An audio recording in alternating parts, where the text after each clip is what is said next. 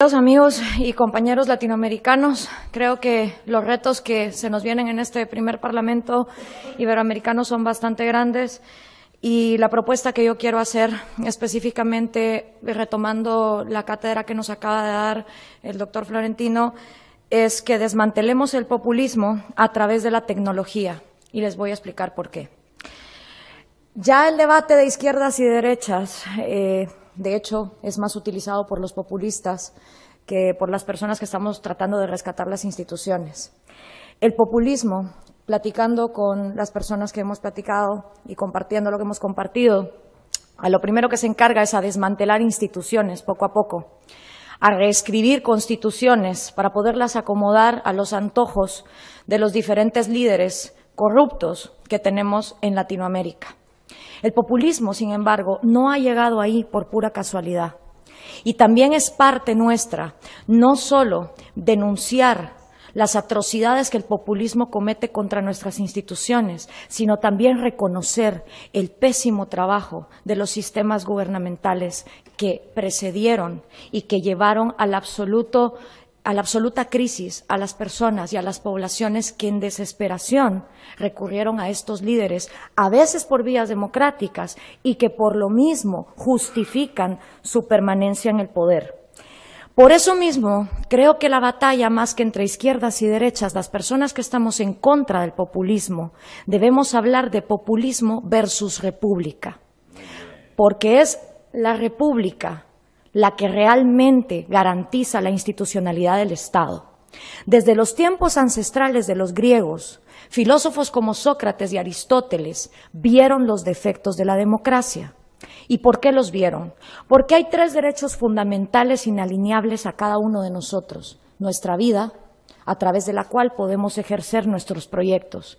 Nuestra libertad, a través de la cual nos podemos expresar, podemos comerciar, podemos trabajar, podemos movilizarnos, acogernos a la creencia que sea de nuestra preferencia y poder expresar así también nuestros sistemas políticos y lo que buscamos de un gobierno.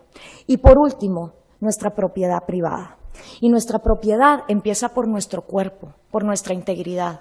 Nuestra propiedad es el cúmulo de todas las cosas, desde el día que nacemos hasta el día que morimos, que nosotros podemos lograr.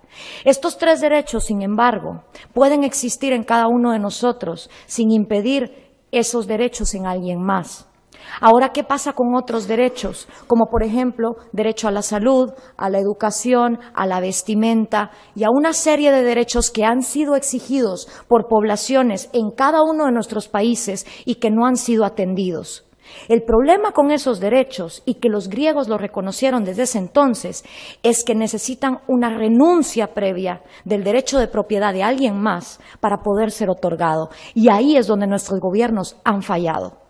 Porque si bien hablamos de que todas las poblaciones tienen derecho a estas cosas, nunca queda estipulado quién debe renunciar a ciertos derechos para otorgar esos otros. Y de ese malestar es que nuestras poblaciones han decidido recurrir a los regímenes totalitarios y populistas que hoy vemos.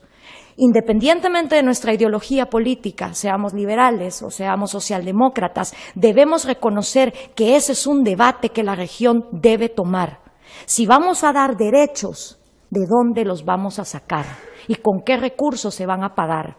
Porque si eso no queda establecido, nuestras poblaciones van a seguir interminablemente viendo en estos líderes la respuesta y la solución.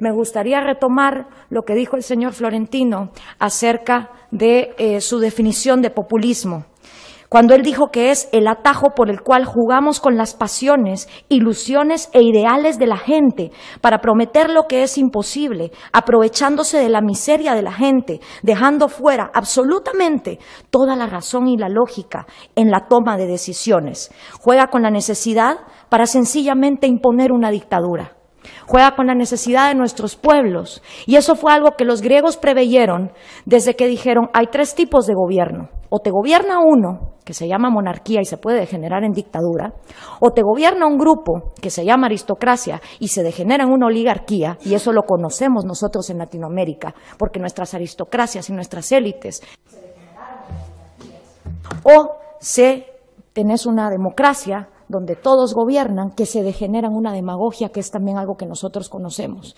Cuando los griegos vieron estas tres formas de gobierno, se dieron cuenta que la república era la respuesta, porque la república daba estas tres institucionalidades, el monarca en la forma del presidente, la aristocracia en la forma de un parlamento y la democracia como el vehículo y la vía de comunicación. Es por eso que la república anula los vicios de una de las tres formas de gobierno para agrupar los tres y formar la institucionalidad que el populismo hoy está destruyendo. Por eso, el llamado que yo quiero proponerles es que desmantelemos el populismo a través de la tecnología. ¿Y por qué a través de la tecnología? Porque hoy mismo hablamos de que los cambios que están surgiendo en nuestros países y que están surgiendo con la tecnología no van acompañados de la educación necesaria. ¿Y qué pasa si yo empiezo a recibir nuevos insumos, nuevas formas tecnológicas de comunicarme con el mundo, pero al mismo tiempo no me educo? No tengo prioridades claras. Y por eso en nuestros parlamentos ya no se intercambian ideas. Ya la razón y la lógica han perdido la importancia que deberían de tener. Ya no hay un respeto por el argumento, por dejar afuera las falacias.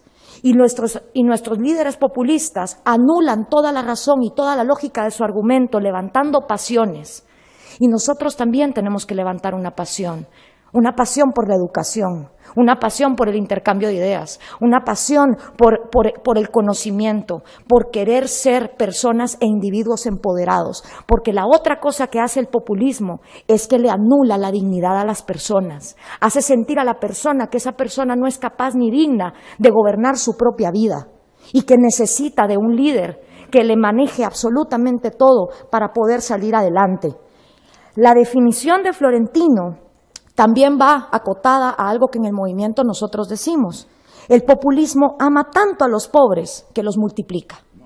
Porque lo que busca es esa multiplicación de miseria para seguir recibiendo un voto a través de cualquier objeto material que en ese momento la gente necesita. ¿Cuál es el reto?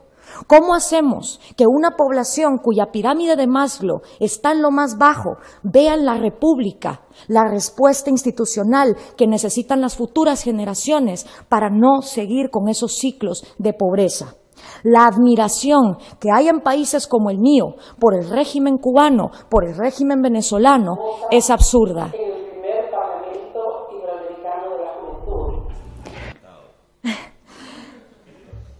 Esa admiración no va guiada por esa razón y ese conocimiento. Muy pocos son los guatemaltecos que, por ejemplo, reconocen que en Cuba un ingeniero civil prefiere trabajar de taxista. Muy pocos son los guatemaltecos, los centroamericanos y los latinoamericanos en general que ven en el régimen chavista las atrocidades y las violaciones a los derechos que se están cometiendo, porque todo lo que pueden ver es, ahí hay educación gratis, ahí hay salud gratis. Nada es gratis, todo viene pagado de algo. Y cuando no hay institucionalidad, es cuando empieza la corrupción y cuando empieza entonces todo un sistema que va degenerando esas virtudes. En el caso de Guatemala, tenemos elecciones el próximo año y desgraciadamente las tres personas que probablemente van a llegar a la presidencia, los tres candidatos que mejor se perfilan, van por la vía populista sean de izquierdas o sean de derechas, porque otra cosa que tenemos que reconocer es que el populismo se ha impregnado en todas las ideologías. El mecanismo que los populistas usan es seguir con ese discurso. Tú estás mal porque alguien está bien. Y nosotros lo que tenemos que rescatar es que todos podemos estar bien, que el hecho de que una persona acumule riqueza no le impide a otra acumularla pero para eso se necesitan instituciones, se necesita seguridad jurídica, se necesita un Estado de Derecho y sobre todo rescatar en nuestros parlamentos el respeto y la admiración por el debate de ideas con argumentos, razón y lógica. Pero una población que no tiene educación, no va a exigir de sus políticos un debate con lógica y con razón y con argumentos y se va a manipular fácilmente a través de las pasiones. Las herramientas que nos proporciona la era del conocimiento son la clave. Utilizar las redes sociales, la tecnología y la facilidad de comunicación que tenemos con tan solo un clic entre todo nuestro continente, donde compartimos idioma, compartimos cultura, compartamos ahora un intercambio de ideas para llevar y empezar a exponer y desmantelar el populismo como lo que es, una postergación de la pobreza, de la ignorancia y de mantener a los pueblos sometidos bajo la ilusión de que solo los bienes materiales son lo que importan a la hora de votar. Es por esto, amigos, que yo les propongo el día de mañana, cuando firmemos la Declaración de Zaragoza, todos, como líderes latinoamericanos que somos, nos comprometamos a desmantelar el populismo utilizando la tecnología y usando como herramienta la República, que es el único sistema que realmente rescata a las instituciones, basados en la razón, en la lógica y en los argumentos y el intercambio de ideas. Muchas gracias.